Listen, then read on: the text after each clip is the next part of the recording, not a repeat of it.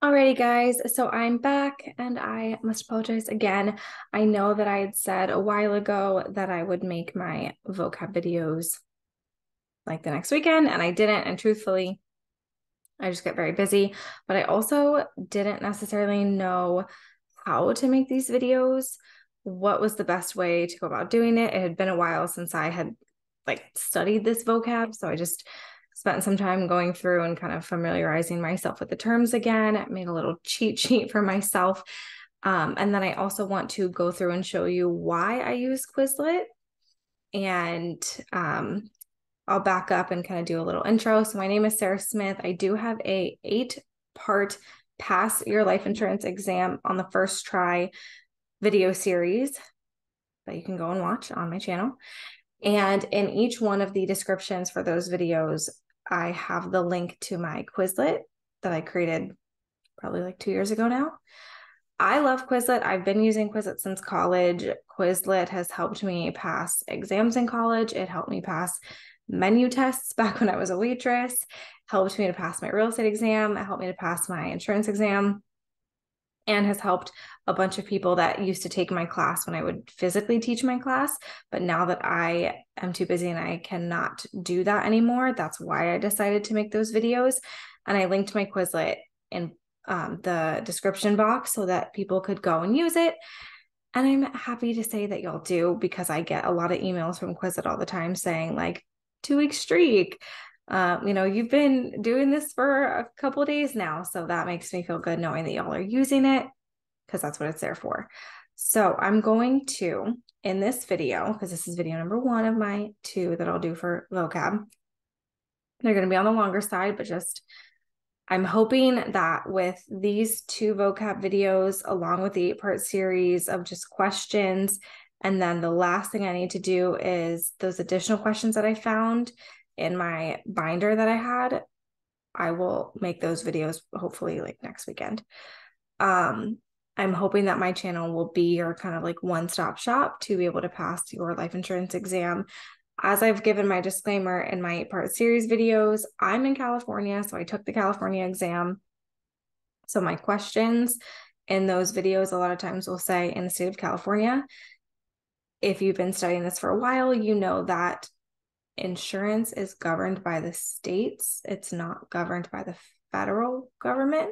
So you have state specific laws that you should be studying before you go in to take this exam.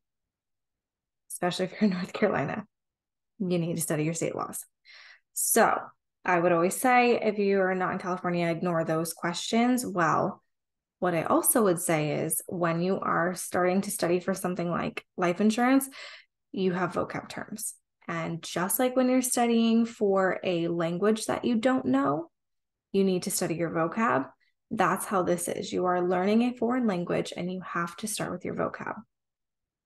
Once you nail your vocab terms and you know what key terms and what key phrases you're looking for in the questions that you're asked on the exam, those questions will start to answer themselves because you are so proficient in your vocab knowledge that is what these videos are for is of course you have access to the quizlet so you can guide yourself through the quizlet but these videos are meant to be a guided tour through the vocab quizlet that i created and i will do my best to go in depth give you guys real life examples and even clarify points that i think that people have usually had issues with.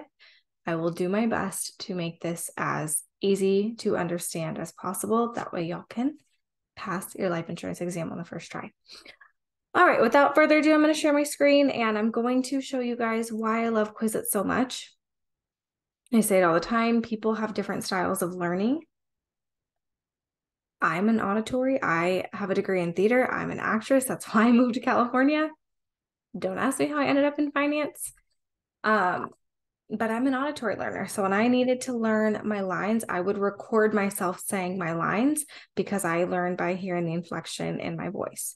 So if you're an auditory learner, that's why I made these videos so that you could just listen to them while you're driving or getting ready in the morning or getting ready for bed. So you can just hear me ask, ask the question and answer the question.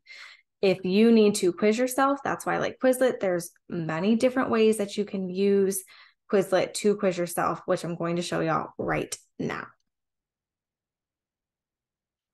Okay, you should be able to see my screen. Now, this is my Quizlet. If you go to and you click the link in the description box for this video or any of my other videos, it will pull up this. It's 144 terms. As I mentioned, I literally went into Excel because that's what I use for myself and my team to study for this exam. I went to uh, Excel and I said every single term that I could find in every single chapter, I put into this Quizlet. So I'm making two videos, 72 questions or 72 terms each. Gonna be long, two videos, but like I said, bear with me. Go on to Quizlet, hit test, and you can set up your test. So let's just start with 60. You can change it to do however many terms you want. Answer with the term definition, pick one. You can do true, false, multiple choice, matching. I don't ever do written because you have to spell it exactly right, and that's a little bit challenging. So all right, this is of 60 terms. So a risk that presents the chance of loss but no opportunity for gain, gain. This is insurable. Is that a speculative risk? Nope. That's a pure risk. So true or false. And if we scroll down, now we can see where you're choosing the best option. States that the effective date of policy is the date of receipt of the initial premium. Should the applicant die before it is fully processed, the benefits are fully payable and will pay this or not. Will pay this whether or not they would have been approved. Um, binding receipts. And then if you go all the way down, you have matching. So this is click a term to match it with a definition a method of determining how much life insurance you need based on funds your family would require to maintain their lifestyle after your death. You come down here, needs approach, and so on. So, this is why I love Quizlet because there's all these fun ways to quiz yourself and ways to learn. So, you can essentially use this to like take the exam before you take the exam you guys have the ability to create your own Quizlet as well. So if you want to create a Quizlet using your own state specific laws, you're more than welcome to do so. Obviously, you can do whatever you want, but this is mine that I created for literally all of you to be able to come in and just learn your vocab terms. So that's what I think is super fun about Quizlet. So let's get into it. I knew that was going to happen. Please hold while I go back to number one. Okay.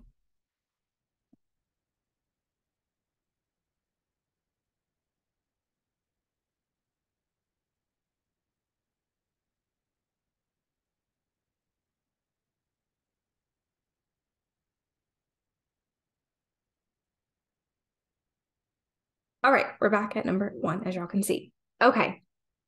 So, reserves funds held by an insurance company to help fulfill future claims. This is where uh, rating service companies come into play, like an AM Best, Standard and Poor's, Moody's.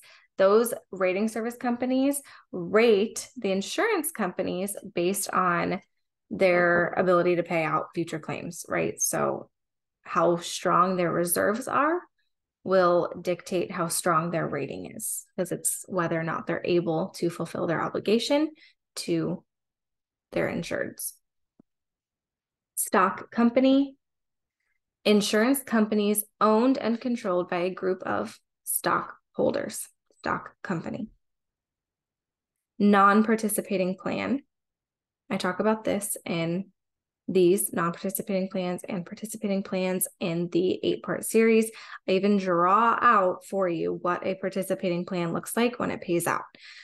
But a non participating plan is a plan in which the insured is not entitled to share in the divisible surplus of the company. And we know that divisible surplus is called dividends. A mutual company is a company that is owned by its policy owners and usually issues participating insurance. So, mutual company is owned by me. I'm a policy owner. And typically, it will issue me a participating insurance policy. That means that I do have the right to share in the company's divisible surplus, and I do have the right to dividends. Participating plan. This is what I drew out um, on my whiteboard in one of my past videos. I don't remember which one, sorry. But I'll go a little bit more in depth for you guys here and what that means to be able to share in the divisible surplus. So, this is a plan in which policy owners receive shares of the company's divisible surplus by way of dividends, right? So, what that means is if you have a mutual insurance company owned by the policyholders, let's say it makes $100 million in 2022. January 1st of 2023, they say, okay, we made $100 million. The liabilities that we had to pay out last year equated to 90 million, which means we have a $10 million surplus above our liabilities, right? So the surplus is now divisible amongst all of the policy owners because they're owners of this company. So let's say, I, I don't know how many there are, but let's say every policy owner's share of that divisible surplus is $50. So, me as a policy owner, I received $50 of dividends, which was my share of the company's $10 million surplus. Right? That's where I have options. My dividend options will come in. I can say with my $50, I want to subtract it from what I owe in premium annually. So let's say I owe $350 in premium annually. I'll say, okay, I'm going to put my $50 towards my annual premium. Now I only owe 30 or $300 for the rest of the year. I can say, oh, I have this, you know, extra $50. Hey, insurance company, how much more insurance can I get if I'm paying $350 now to have annually to have $250,000 of coverage. If I have this $50 to put towards that 350, how much more insurance can that buy me?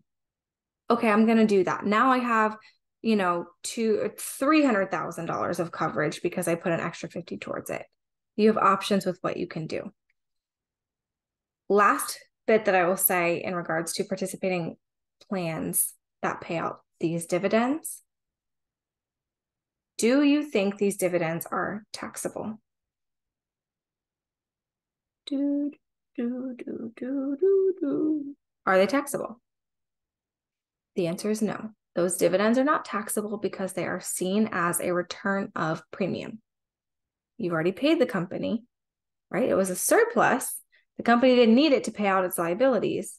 So they see it as a return of premium to you. So it's not taxable as income because it's money you already paid. They're giving it back. That's important to know. That question will more often than not show up on your exam. Reinsurer, a company that provides financial protection to insurance companies. They handle risks too large for the insurance company to handle on its own. This is where I usually use my two phones to explain this, or anyone that has an uh, understanding of how the mortgage industry works, where they'll sell off mortgages to basically like a reinsurer. So let's say National Life Group writes a $10 million policy. They're tying up $10 million of assets. That's a lot, right? So then the reinsurance company comes along and says, We'll buy that off of you. We're going to take that 10 million of liability off your plate. That way you have $10 million you can free up to go and write more insurance policies. Reinsurance. If this company that's doing the reinsuring only exists to reinsure this company what is this company called? If you've seen my eight part series, you probably know the answer to this. This company is called a captive insurer. Important to know. This concept will end up on your exam. Fair Credit Reporting Act.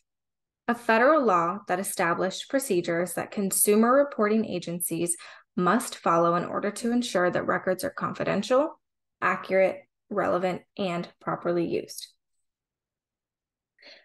Um, one thing that I will say about this is from being in the industry, I know that when I put in applications, more often than not, they will say, if there's a consumer report, do you want to receive it? I said yes because I wanted to know what they had on me. like, I want to know what the government knows. I want to know what like LexisNexis is finding when they're doing my underwriting. I want to know. So it's pretty cool. This Fair Credit Reporting Act, you have access to things like your credit score and your consumer report to know basically what these companies are finding when they run a search on you. Policy summary a summary of the terms of the insurance policy, including conditions, coverage limitations, and premiums. It's exactly what it sounds like. It's literally like a one or two page summary of who's the insured, who's the owner, who's the beneficiary, how much, you know, coverage do you have? What is your annual premium? What do you pay monthly? Yada, yada, yada. It's just a summary of what your policy entails. Life insurance.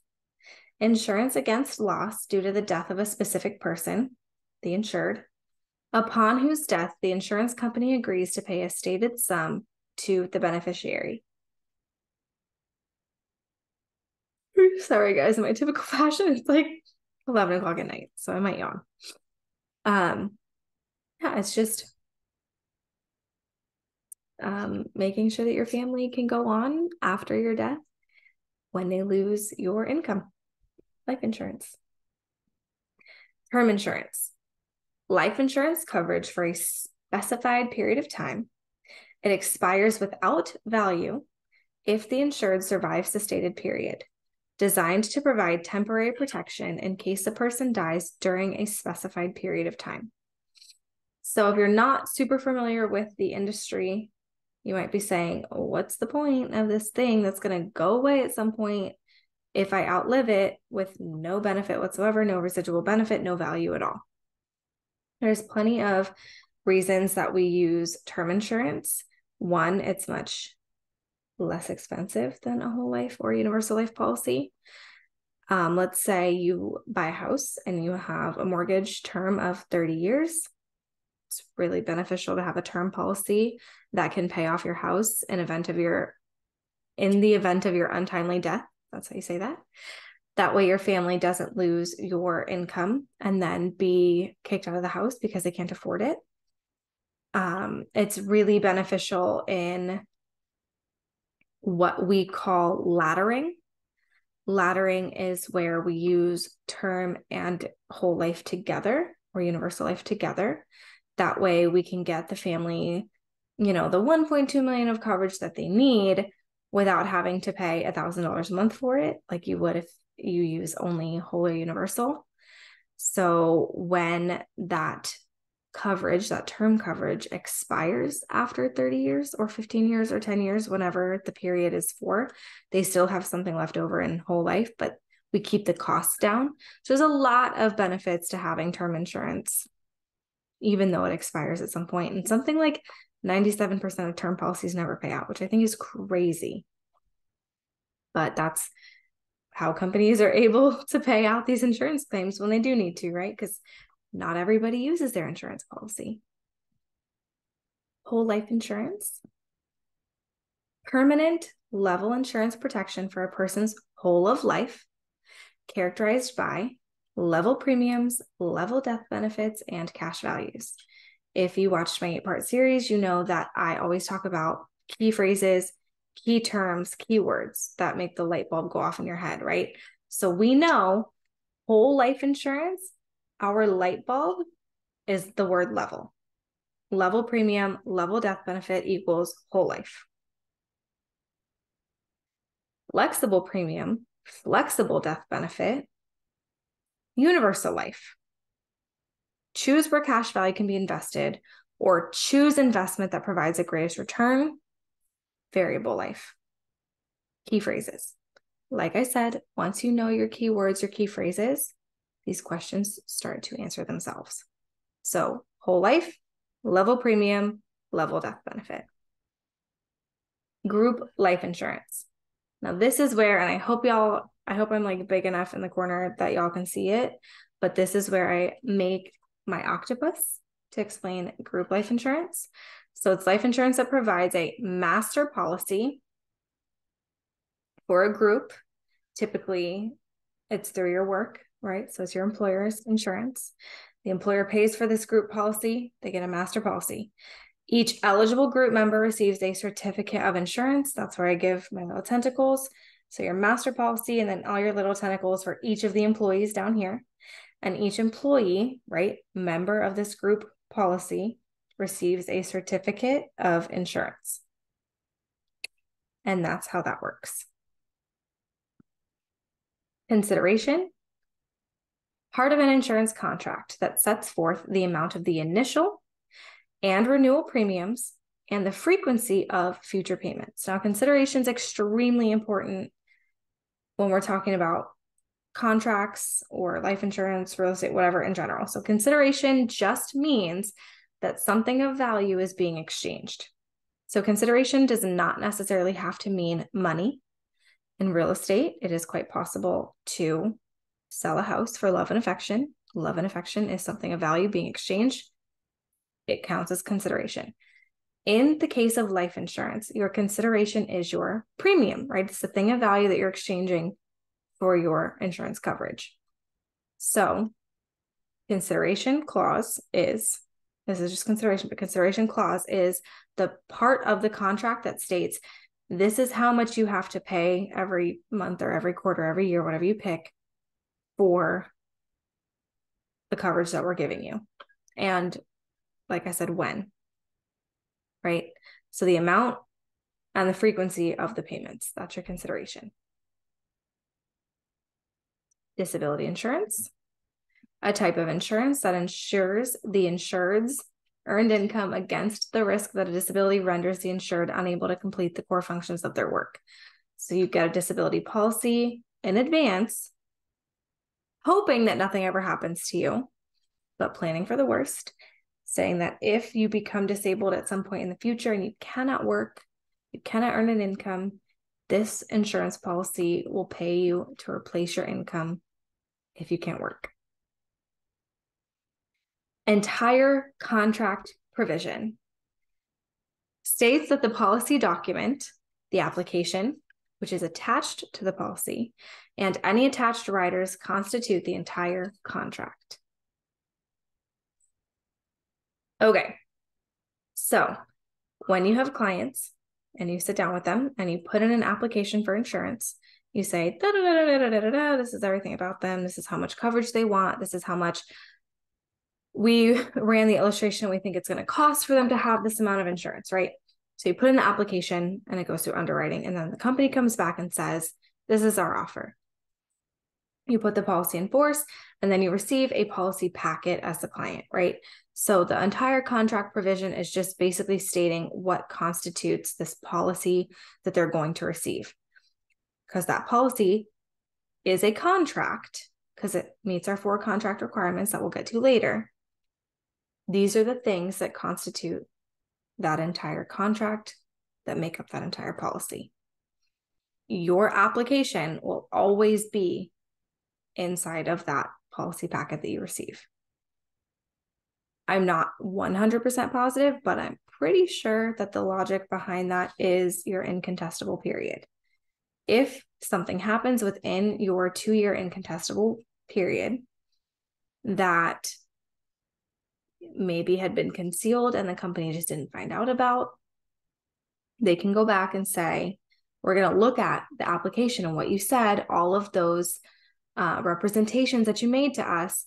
And if we find out that within this application, you did not reveal to us this condition that you have that's now come about. If it's something that existed, of course, they will not pay out your policy. So that's why I believe that the application is a piece of the entire contract because of your incontestable period and them needing the ability to go back and see what representations were made at the time of application. But I digress. Notice of claim describes the policy owner's obligation to provide notification of loss to the insurer within a reasonable amount of time. In the case of life insurance, that just means when somebody passes away, or if you're using living benefits, has some sort of um, insurable event, right? You notify the company within a reasonable amount of time. Not just notice of claim, right? You say, hey, insurance company, uh, my mother passed away. I'm going to be sending you the death certificate and I'd like my payment furnished, basically. Reinstatement. Act of putting a lapsed policy back in force by producing satisfactory evidence of insurability and paying any past due premiums. Now, there's two different aspects of a policy, uh, of somebody maybe not being able to pay for a policy, two different aspects, right? So, one, apologize, is reinstatement, and one is your grace period, right? So, grace period is I haven't paid, but my policy hasn't lapsed because I'm still within my grace period. So I still have the ability to go and make that up and pay that. Now, reinstatement, which is what we're talking about, the policy has already lapsed. I want to put it back in force. Because it's already lapsed, I have to prove evidence of insurability. Basically, that's the insurance company saying you couldn't pay or you weren't willing to pay. Now you want to pay again, I want to make sure that the reason that you're coming back to put your policy back in force isn't that there's some condition that's now come about that would render you uninsurable and that's why you want your insurance back but you just didn't want to pay for a while right so you have to issue um, a good health statement to them saying that nothing has changed in your health since the policy lapsed and that's not why you want to put it back in force and then you have to pay any past due premiums. And then it's back and forth. Peril. Okay, now this is what I needed my cheat sheet for because I filmed this video before this and then I got to like these next couple ones and was just talking in a circle and couldn't get my thoughts straight. So I wrote everything out and I hope this will help me get through these next couple ones. So, peril. Peril is the immediate, specific event causing loss and giving rise to risk. Loss is the loss of assets resulting from a pure risk. Now we know, and these will show up later, but I'm going to talk about it now. We know there's two types of risk pure and speculative. Pure, your options are loss or no loss. Speculative, your options are gain or loss. This is like a car accident. Either I'm going to get into one or I'm not. And this is like gambling. Either I'm going to win money or I'm going to lose money. So a loss is the loss of assets resulting from a pure risk. Example, car insurance, car accident, I'm sorry. You would lose the car functionality or you would lose the car if it's totaled resulting from the car accident that is the pure risk, right? So that's loss. Hazard, any factor that gives rise to a peril. Um, and then risk, and then I'll go back. The probability of loss occurring for an insured or prospect. Okay, so I wrote down these four because they are um, something that gives me issues whenever I talk about it. Like I understand them enough to be able to get the question right. But um, I do realize that this is, or I noticed when I was teaching my class that this was something that people would kind of be like, what's the difference? You know, why is this one hazard, but this one is risk? And, you know, why? So I wrote down those four. So we are going to go through risk, hazard, loss, and peril. And my example for you is when you're driving on the road and you have Waze or your maps open. If there's a car accident ahead of you, or someone's tire came off and it's in the road, or like an oil spill or fire, whatever. If there's something in the road in front of you, what does your maps or your Waze say?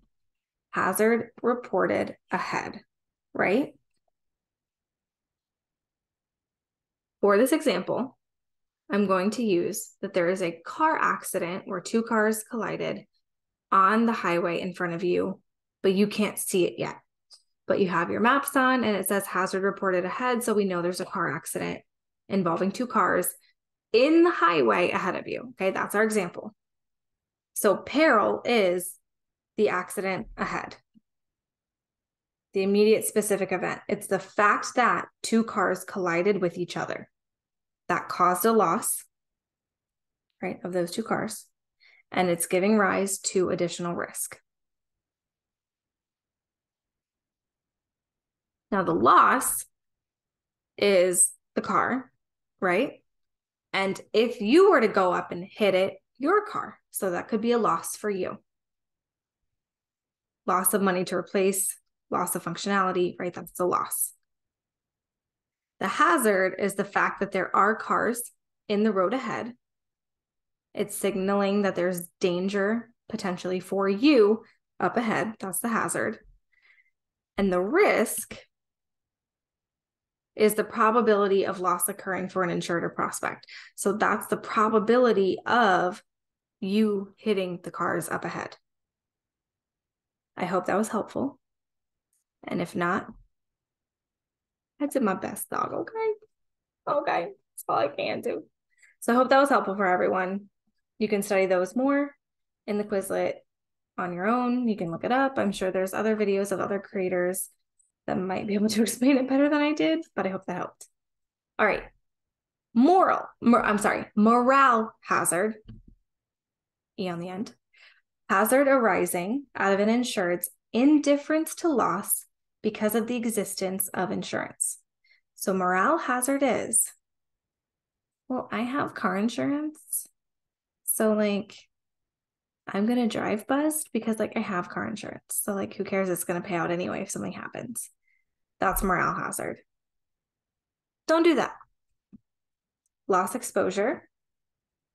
Any condition or situation that presents a possibility of loss, whether or not an actual loss occurs. This literally means every time I get into my car, I am exposing myself to the risk of getting in a car accident because there could be tires up ahead in the road that I can't see.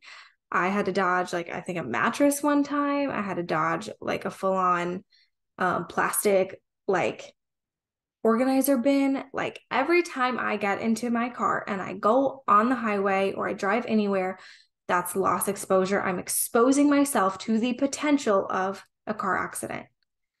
Every time you are in a boat and you go out on the water, you are exposing yourself to potentially the boat sinking, the boat capsizing, something, right? That's not meant to like scare anyone. It's just like you're that's loss exposure.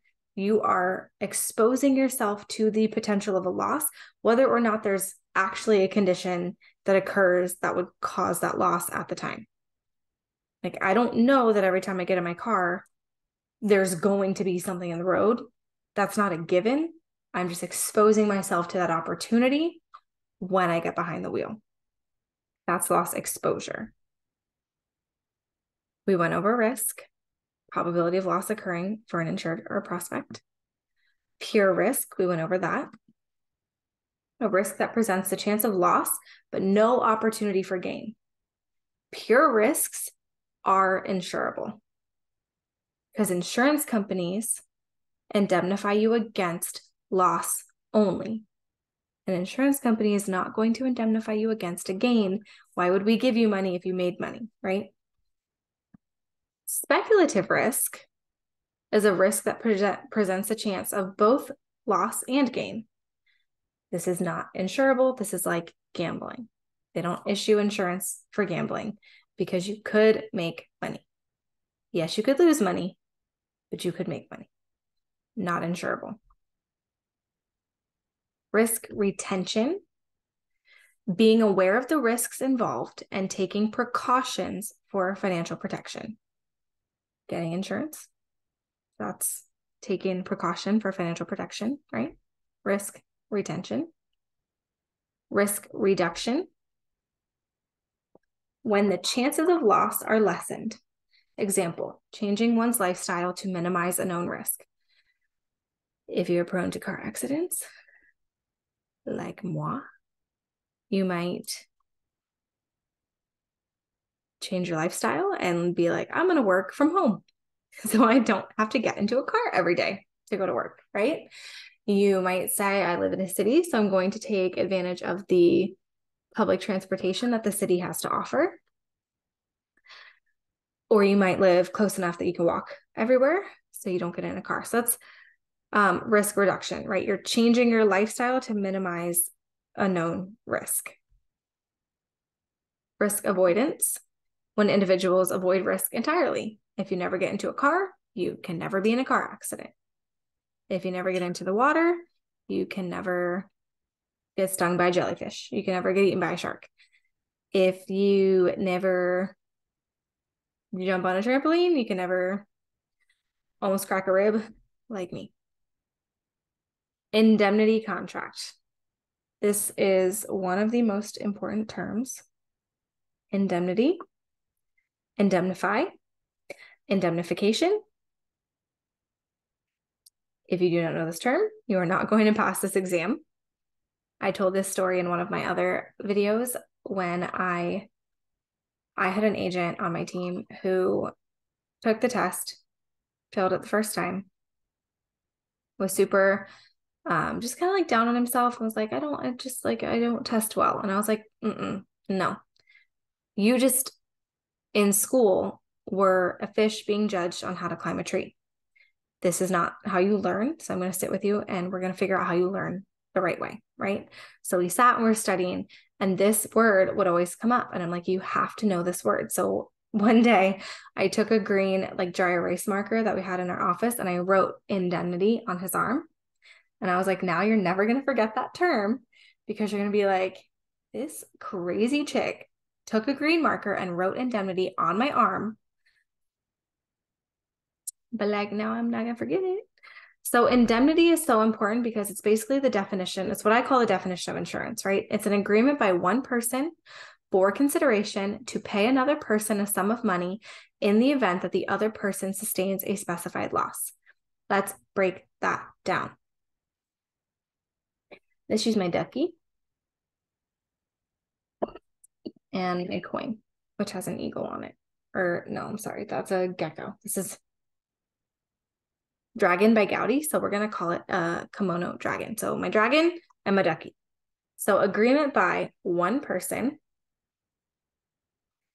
for consideration, something of value in this case, because it's insurance, it is money, it's premium, right?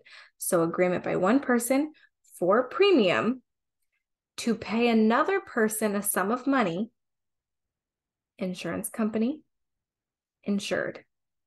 Insured pays insurance company premium, right? Consideration.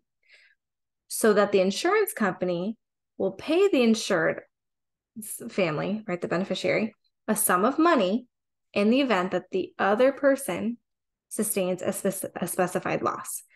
So this is life insurance, right? Company insured, insured pays company, so that company will pay insured's family if insured passes away. Life insurance brought to you by my ducky and my dragon. Um, it's the same for like car insurance, right? You pay the car insurance company and they pay you out if you get into an accident. So that is indemnification. That's indemnity. That's to indemnify. You are restoring one party to the position that they were in before the loss occurred. One more time for the person taking notes. Restoring one party to the position that they were in before the loss occurred.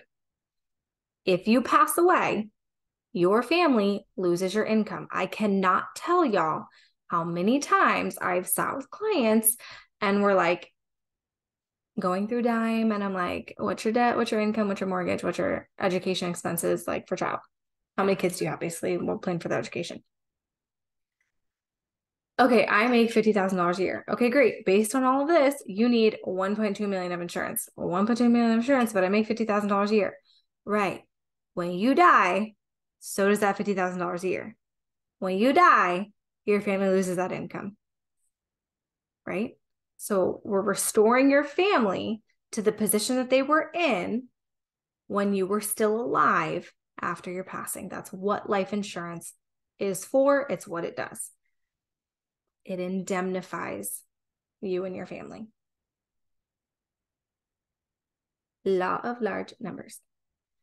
The larger the number of individual risks combined into a group, the more certainty there is in predicting the degree or amount of loss that will be incurred in any given period. Basically, all that is saying is that the more times an event occurs, the likelier we are to be able to predict the outcome. The more times an event occurs, the likelier we are to be able to predict the outcome.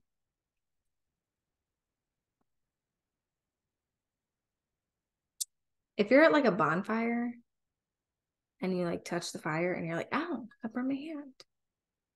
And then you do it again, you're like, ow, that burned my hand again.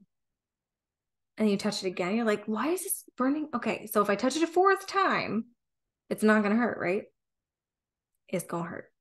So the more times that something happens and we see what the outcome is, we have a pretty good data set to be able to say, well, every time I touched the fire before, it hurt. So if I do it again, it's probably going to hurt. That's the law of large numbers. Moral hazard, not morale, moral. Moral hazard arises when people behave recklessly because they know they will be saved if things go wrong. Also, maybe like, don't do that. Adhesion. This comes into play. You'll see it on your test. Uh, the question will say, like, a contract of adhesion. So the contract has been prepared by one party with no negotiation between the applicant and the insurer. The applicant adheres to the terms on a take it or leave it basis. So a contract of adhesion basically just means that your insured puts in an application with the insurance company and they said, based on what I need, my family needs me to have $1 million of coverage. Based on what my illustration shows, and I'm quoting myself at standard, I should be able to get a million dollars of coverage on a term policy for $55 a month. That's my application. This is what I'm asking you for insurance company. The insurance company will go and underwrite the insured, right, or the applicant, and say, based on that one time when you jumped off of a building and ended up in the hospital five years ago, we are not going to quote you at standard, but we're going to quote you at like a substandard, like rating one, whatever. So we are going to give you that million, but we're going to give it to you for $80 a month. Take it or leave it the insured, the applicant cannot come back and say, well, you know, my husband's an attorney and he says to never accept the first offer. Does not work like that in insurance. You're going to put in your application and they're going to underwrite and they're going to come back and say accepted, or they're going to say accepted, but under different terms. There's no negotiation from there. Once they come back and say, this is what we're offering you, you take it or you leave it. That is what it is. That's a contract of adhesion. Unilateral. Uni in Latin meaning one.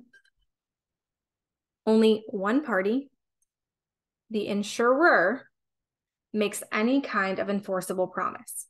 So, why in an insurance application is it unilateral? If, like, but I have to pay my premiums to get the insurance. So, like, why is that unilateral? It's one enforceable promise, right? So, if I, the insured, um, apply for life insurance. They come back and say, yeah, you can have it for blah, blah, blah, blah, whatever a month.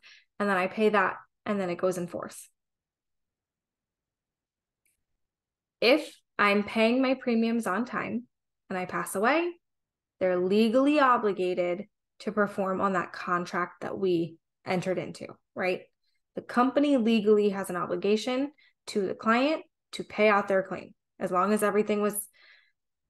I can't tell you how many times people are like, well, insurance doesn't pay out. Certain insurances won't pay out if you committed a felony and passed away, like death by suicide, like by cop, they're not going to pay out. If you commit suicide within the first two years, it's not going to pay out. Um, yeah, there's a bunch of different like reasons why it, wouldn't pay out. But if everything is according to the contract, it's enforced, you've been paying your premiums, company legally obligated to hold up their end of the bargain, right? You, as the insured, want life insurance. You're willingly paying for this service. But if you decide to stop paying, the government's not going to knock down your door and be like, Excuse me, you entered into this contract and you need to pay for it. It's you wanted it. Like you're making that decision. So if you just decide to stop paying or you can't pay, no one's going to come back and force you to stay in that contract. But if you're not holding up your end of the bargain, they're let out of their side too. But they're legally required to execute on that contract, basically. Legal purpose to be valid the object of the contract and the reason the parties enter into the contract must be legal. My example for this is always a contract to kill.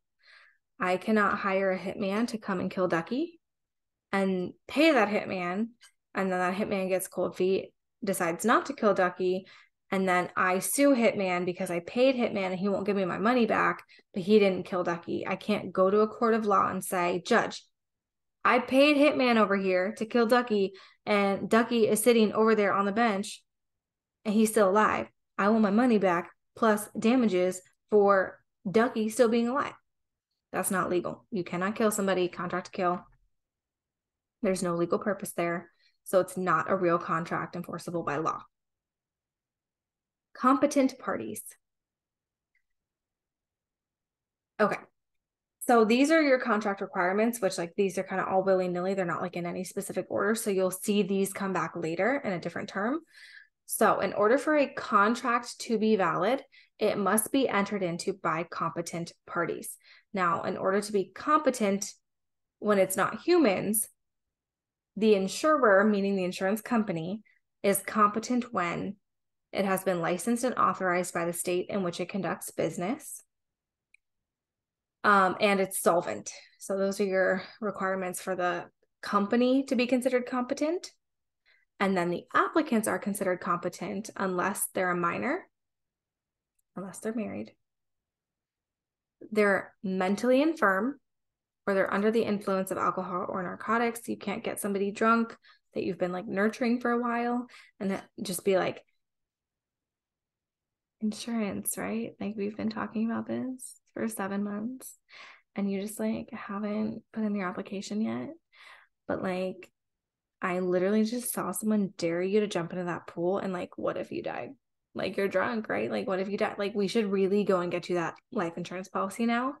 And they go to like enter into it while they're under the influence of alcohol. And then the next day they're like, what are you talking about? I don't want this thing. I don't want to pay for it. It's not a contract, right? Because they were under the influence at the time. So, those are your competent parties when it comes to insurance. Must have an, uh, a competent insurance company and must have a competent applicant as well. Offer and acceptance is another one of your contract requirements. To be legally binding, a contract must be made with a definite, unqualified proposal, offer, by one party, and the acceptance of the exact terms by the other acceptance. So, insurance, insurance company, insured, or applicant, right? So, applicant applies, insurance company underwrites, comes back and says, This is your offer. X amount of insurance for X amount of premium a month or a year or a quarter, whatever. You accept when you pay your premium. Offer acceptance. Concealment. Failure by the applicant to disclose a known material fact when applying for insurance. Um, concealment just means when you're going through your insurance application and you're answering all your medical questions, if you don't reveal something like any condition that you have or any surgeries that you had in the past five, ten years, um, any like suicidal thoughts, suicidal tendencies, attempts,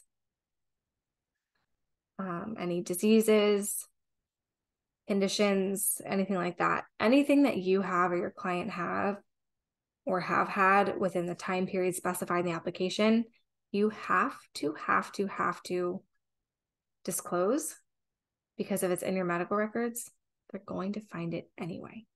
You don't want to have to explain why you concealed. Um, they're not to fault you, like you won't get in trouble per se for concealing before the contract goes into effect. If you conceal and somehow they don't find out about it, and then you have some sort of issue come up because of the condition that you concealed that they never found out about. They gave you this insurance policy anyway, based on not knowing that you had a condition that you concealed. That's where those two years, that incontestable period comes in. If they find out about it during that two years, they will rescind the contract. They will not pay out the claim. And that would just not be good. So don't conceal representation, a statement of fact or opinion made by the insured when applying for insurance, usually in response to a question from the insurer. There's a whole bunch of medical questions when you're going through an application for life insurance. A representation basically is just your answer to the question. I am representing this fact about myself in response to this question from the insurance company. Representation. Insurable interest a person's right to take out insurance on another person because that person can show he or she would suffer financial loss or hardship in the event of the death of the insured or loss of property. So, on your exam, an example of a question dealing with um, insurable interest would be like who of the following um, like pairs does not have insurable interest and it might be you know parent child husband, wife, like spouse, spouse. Um, what else? Like business partner, business partner, and then business partner, customer. So, who of these pairings does not have insurable interest? Your answer is business owner to business customer because there's no financial loss there. Right. If I own a hat shop and somebody just walks into my store to buy a hat, there's no insurable interest there. We're strangers. If that person dies, I don't pay their bills. There's no immediate financial hardship for me if that person passes away. But if I am married and my husband passes away and I lose his income, and let's say I don't work, that's a financial hardship for me, right? So there is insurable interest there. If I'm a parent and my child passes away, there's insurable interest there because I have to then pay the um, funeral expenses on the death of my child. Business partner to business partner, there's going to be a loss there because I now have to make up the 50% that my partner was doing. Insurable interest. Fraud. When someone knowingly lies to obtain a benefit or advantage to which they are not otherwise entitled, or someone knowingly denies a benefit that is due and to which someone is entitled. I don't really think that this one needs much of an in depth explanation. It's fraud, it's pretty self explanatory. Uh, this is what I was talking about before. Elements of a legally binding contract. There's four of them. Competent parties, consideration, legal purpose, offer, and acceptance. Now, one piece of this that I will, um, I want to go a little bit deeper on is the consideration. Because I think We've already been through competent parties. We've already been through consideration, legal purpose, and offer acceptance. We've already gone over all of them. Now, one question that you will have seen in my eight part series about consideration or something like which one of these is not um which one of these is not a requirement of a legally binding contract and it's competent parties equal consideration legal purpose offer and acceptance? The answer is equal consideration. So consideration is as i mentioned before something of value. It does not always have to be money. Sometimes it can be love and affection. In the case of love and affection let's say you're buying a house that's not an equal exchange, right? The house is probably worth a couple hundred thousand to a couple million dollars. You're getting it for love and affection. You're not exchanging equal value there, but you're exchanging something of value. And that person with that million dollar property is saying, that's of enough value to me to give her this thing for a million dollars. In the case of life insurance, the premium that you will pay is going to be much, much less than the amount of money that your family will, will be paid out on that policy if you pass away. I pay on one of my policies $25 a month for $105,000 if I pass away. That's not equal, right? That's not an equal exchange. They didn't break up 105,000, divide it by, I think it's like 10 years.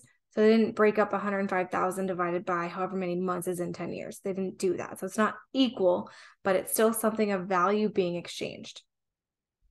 Wanted to go deeper on that. Thank you for coming to my TED Talk. Aleatory, a contract with an element of chance and potential for unequal exchange of value or consideration for both parties. That's an insurance contract, and I just explained why, right? Contract with an element of chance for potential for unequal exchange of value or consideration for both parties. The amount that I'm paying to the insurance company for my hundreds of thousands of dollars of insurance, they're not equal. But it's still consideration, so it's still something of value being exchanged. So we call that aleatory. Free look provision gives policy owners the right to return the policy for a full premium refund within a specified period of time if they decide not to purchase the insurance. Each state has their own free look period, and you need to know yours. Um, here in California, it's like 30 days. Look it up for your own individual state because you likely will be asked that on the exam. I see that come up quite a bit. Policy loan, and then I'm going to pause to get more water because it is hot in this house. The policy owner is entitled to borrow an amount equal to the available cash value. If not repaid by the time the insured dies, the loan balance and any interest accrued are deducted from the policy proceeds at the time of the claim. So, this is where your clients always ask, Well, what if I have a loan out and I pass away? This is why your cash value will never equal your death benefit, right? So, um, I have a $250,000 IUL.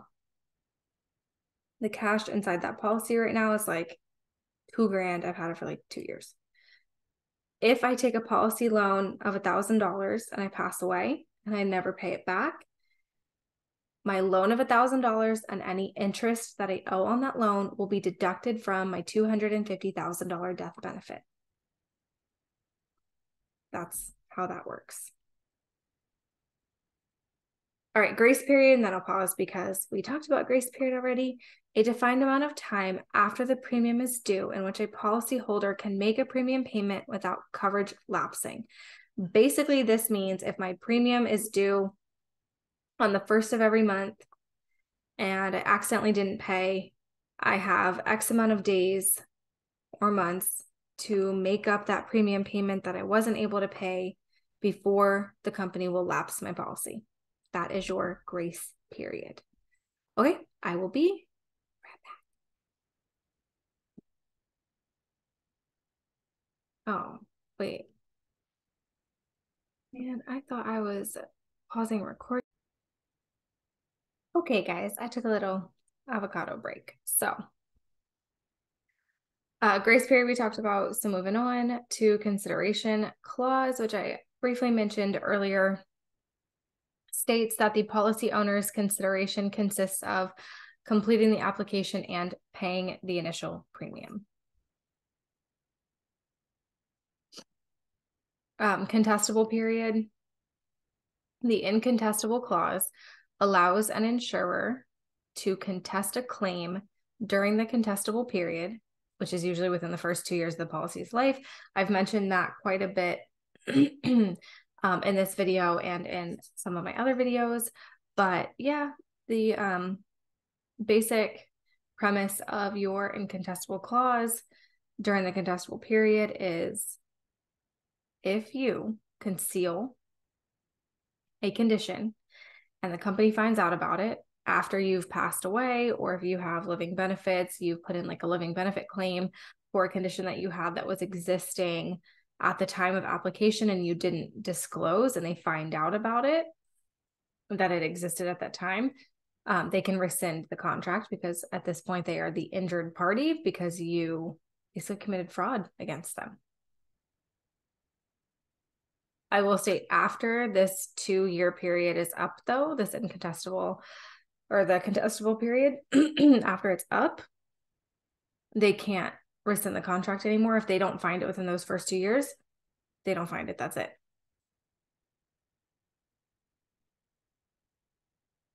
Incontestable clause states that the insurer can no longer contest the validity of the policy after it has been enforced for a specified period of time typically two years. Wow i'm like psychic. Suicide provision protects the insurer insurance company against the purchase of a policy in contemplation of suicide. The suicide period is typically within the first two years of the policy's inception. Um, yeah, don't get a life insurance policy for contemplating suicide. Misstatement of age. This clause protects the insurance company against an applicant who lies about their age the insurance company has the right to adjust your face amount up or down to coincide with the face amount or policy limit the correct premium would have purchased if you had not lied about your age. So there's not necessarily like a penalty aside from we're just going to adjust it to what it would have been if we'd gotten it right the first time.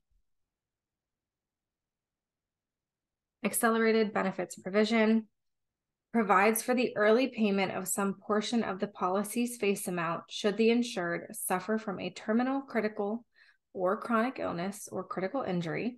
The remaining portion of the policy is payable as a death benefit. So these are those living benefits that I was talking about. They're called um, ABRs, accelerated benefit accelerated benefit riders. Um, it allows some portion of your death benefit to pay out in the event that you have a terminal, critical, or chronic illness or critical injury. I um, have never really like told my story in any of these videos, but uh, the abridged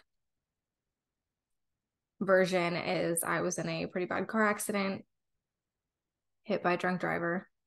There was a death in that accident, and there was no life insurance in place. So not only was there no life insurance for the gentleman that passed away, to take care of his family. There was no, I didn't have life insurance, I didn't have living benefits. I don't know if any of you have ever experienced receiving a $45,000 bill at the age of 22. That's why I got into life insurance. Living benefits are extremely important. That's my TED talk. Non forfeiture options. Okay, I had to write these down because these have always been like my least favorite thing to talk about. And when people are like, what does that mean? Go deeper. I'm like, no, can't. So I did a little bit of research so I could go a little bit deeper for you guys. So there's three non forfeiture options they are cash surrender, reduce paid up, and extended term. So essentially, what non forfeiture options are they allow the policyholder to receive a benefit or value from the policy if they choose to surrender or terminate the policy before its maturity, or if they are unable to pay the premiums. So essentially, what these do, what these non forfeiture options do, is say, okay, you can't afford to keep the policy, but we want to ensure that there's some value that you receive from it. So there are options of what you can do to basically like receive that value. So cash surrender, you can take the um, amount of uh, the surrender the surrender value. There we go. You can take the surrender value and get that back. So you get a little bit of your money back. And then reduce paid up option, you can um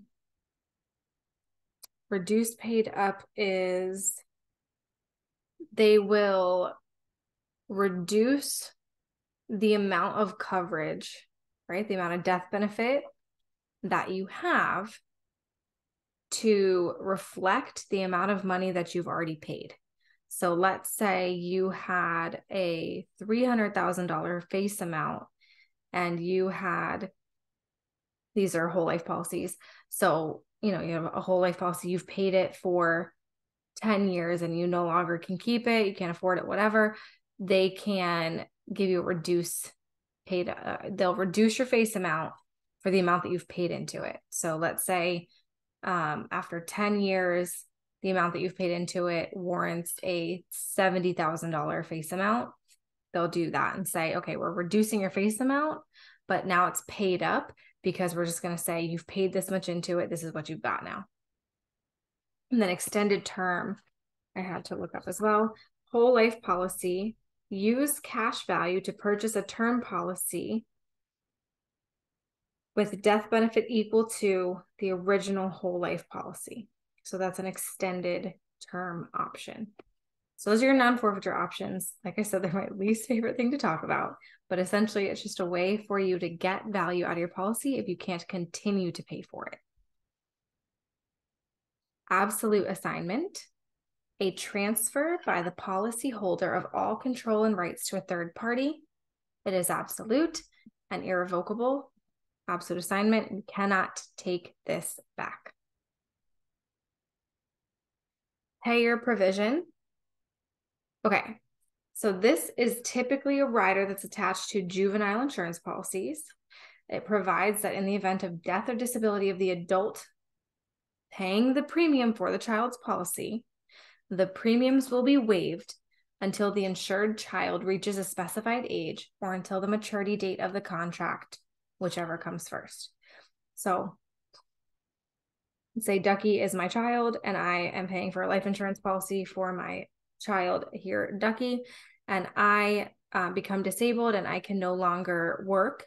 So essentially, I can no longer afford the premiums. The, the payer provision provides that I no longer owe the premiums, but the policy stays in force on my child until the child reaches a specified age and I'm not positive if they take over the premiums themselves or if they just never have to pay them again. I'm not sure, but I'm assuming it means when they reach that specified age, they take the premiums over again or the maturity date of the contract. But that's what the payer provision does. It says there's an event that this adult now can no longer pay for the premiums for this child policy. We don't want the child not to be covered. The premium payments are now waived. So that's the payer provision. waiver of premium this is why i want i want to do these together so waiver of premium rider is for you yourself so payer is i'm paying on the child's policy waiver of premium is me myself my own policy prevents a policy from lapsing for non-payment of premiums while the insured is disabled and unable to work the policy owner is relieved of paying premiums for as long as the disability continues so that is a lot of times I would find people would get confused or mix those two up. Waiver of premium, me, myself, I'm disabled. Payer provision, I'm disabled or I die, and the premiums are waived on my child's policy that I was the payer of, I was paying for. Okay, policy dividends. We've briefly talked about these. Policy dividends are paid out by participating companies only not non participating policies, pretty self explanatory. If fewer insureds have died than was estimated, a surplus results and the company can return to the policy owners a part of the premiums paid. That's why I was saying we have a $100 million um, amount that we make, but only 90 million had to be paid out in liabilities. So we have this surplus of 10 million. Fewer insureds die, the surplus results, the company returns to the policy owners a part of those premiums paid. That's why I said they're not taxable. See, the next one policy dividends are a return of part of premiums already paid and as such are not taxable income. Boom.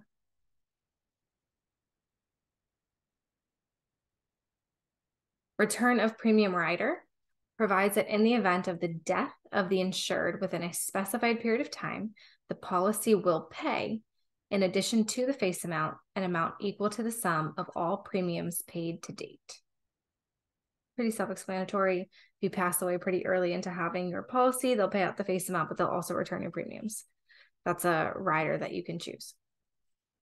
We went over waiver of premium and then extended term option. Okay, cool. So I wanted to like define them before here they're defined again. So extended term non-forfeiture option use the policy's cash value to purchase a term insurance policy in an amount equal to the original policy's face value for as long a period as the cash value will purchase. That is your extended term option. Cash surrender options, another non forfeiture option. Policy owners may request an immediate cash payment of their cash values when their policies are surrendered. That's your surrender value. Insuring clause. I don't think this is another non forfeiture. Yeah. Insuring clause. A general statement that identifies the basic agreement made by the insurance company to pay benefits upon the insured's death, usually located on the first page of the policy. It's just a clause stating its insurance and like basically what insurance does, right? General statement identifies basic agreement made to pay benefits upon the insured's death. Pretty self-explanatory. Policy owner, policy holder, this is the person that owns and will pay the premiums the person who has the right to exercise the privileges and rights in the policy contract. So the policy owner is not always necessarily the insured. So just keep that in mind. While for myself, I own my policies and I'm the insured, I could, when I have children one day, purchase a policy on my kids. I'd be the policy owner, but I wouldn't be the insured. The policy owner is the person that owns the policy, pays the policy, and has the rights to exercise the privileges and the rights within the policy contract, not the insured, but the owner. Owner's right provision defines the person who may name and change beneficiaries, select options available under the policy, and receive any financial benefits from the policy. So that's basically an extension of this one, right? The person that has the right to exercise the privileges. So that would be like change beneficiaries, select options. So maybe like add or subtract riders onto the policy um, and receive any financial benefits. Of course, that would go back to like being able to change beneficiaries. Automatic premium loan provision. Um, typically anything that you see like the word provision on would qualify as like a rider to your policy. So automatic premium, is it automatic premium loan provision authorizes insurer company to automatically pay any premium in default at the end of the grace period and charge the amount against the life insurance policy as a policy loan. So as you are paying into your whole life policy or your universal life policy, anything cash value, um, obviously there's cash being stashed inside that policy. If you have unstable income or you fall on hard times and there's pol- cash inside that policy and you're like I really could use a month where I don't have to pay for this thing, you can like if you don't pay, they can pull it from the cash value. So it's an automatic premium loan from your policy's cash value to keep the policy from lapsing. And it can do this until you run out of cash. Most common types of policy exclusions. War. This is often referred to as the results clause. Um, I have like touched on this, I think, briefly in some of my past videos. War being an exclusion to what life insurance policies will pay out for is why the military has that four hundred thousand dollar um like SGLI policy on all of our servicemen and women.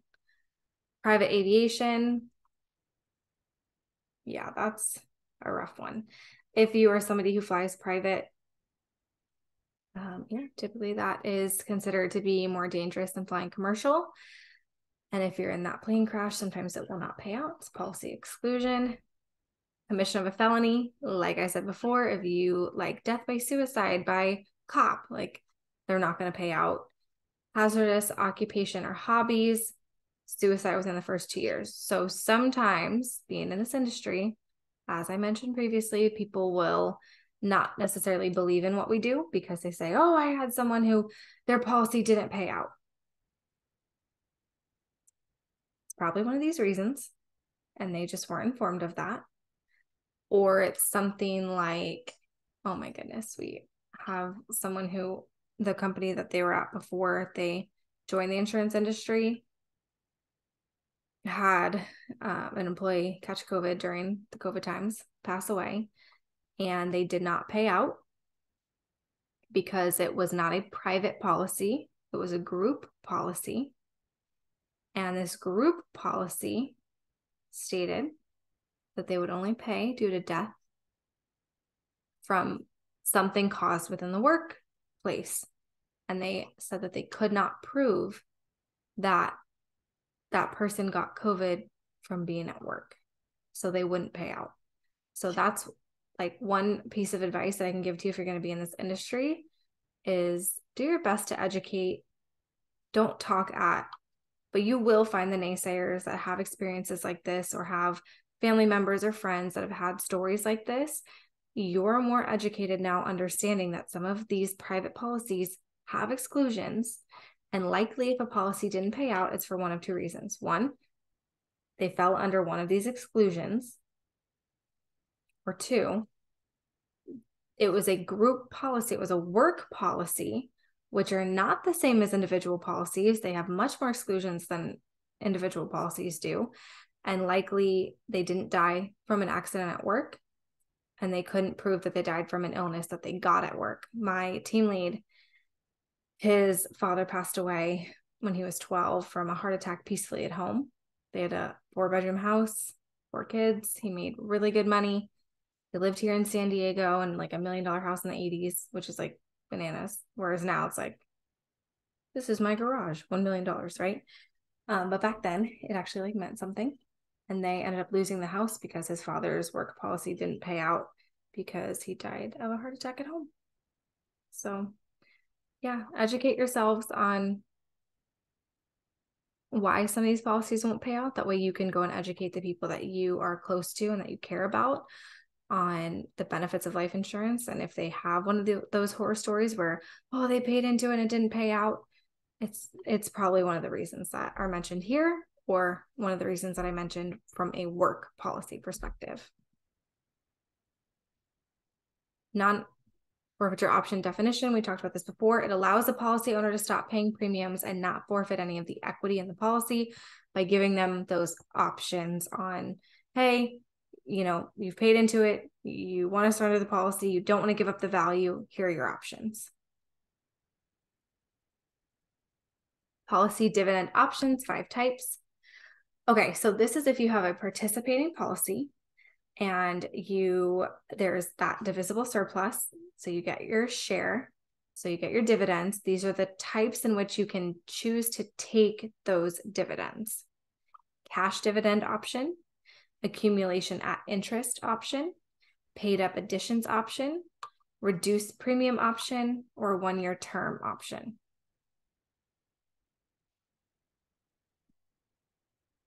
trying to figure out if I should like go a little bit deeper on those. Um, cash dividend option, obviously, like in my previous example from earlier in the video where I said, oh, let's say, you know, your share of the divisible surplus is 50 bucks, you can take your 50 bucks. Accumulation interest, I don't know how to explain that one. I do apologize. Paid up additions, hi insurance company, how can I, or how much more insurance will this $50 buy me? Tack it on uh, reduced premium option. Hey, insurance company, I usually owe you $350 a year. Now I want to give you this 50 back and owe only $300 for this year because of my dividend that paid out. And then one year term option, I don't necessarily know how to um like describe that one to you guys and I don't want to guess. because I don't want to steer you in the wrong direction. So I can't explain accumulation of interest or one year term. Look those up. I do apologize. Guaranteed insurability rider. This permits insured, right? Insured to buy specific amounts of additional insurance at specified intervals without evidence of insurability. So this allows you to buy more insurance at specified intervals so they can say, you know, after your 10 year term expires, like, do you want to buy more without having to um, prove insurability again? Basically, you don't have to re underwrite, is what this is saying. You have the ability to purchase more insurance at specific times without having to medically underwrite um, answer those medical questions, prove insurability. It's pretty cool. Accidental death rider doubles the face amount of life insurance if death occurs as a result of an accident.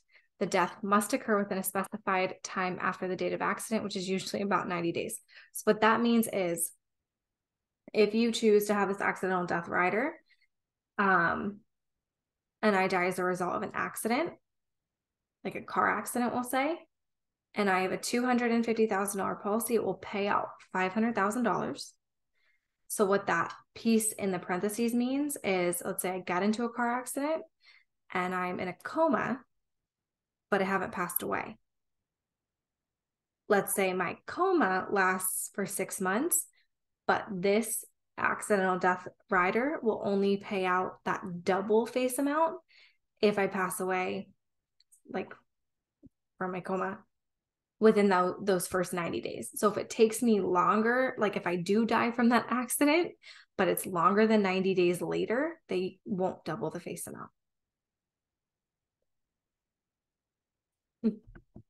So die quickly. Just kidding. Beneficiary the party designated to receive the policy's proceeds upon the insured's death. Pretty self explanatory. Mortality factor, a measure of the number of deaths in a given population. Insurance companies use mortality tables to help predict the life expectancy and probability of death for a given group. So these like mortality factors are how right the companies help predict the life expectancy and probability of death for a given group. This is why men, your insurance is going to be more expensive than us women.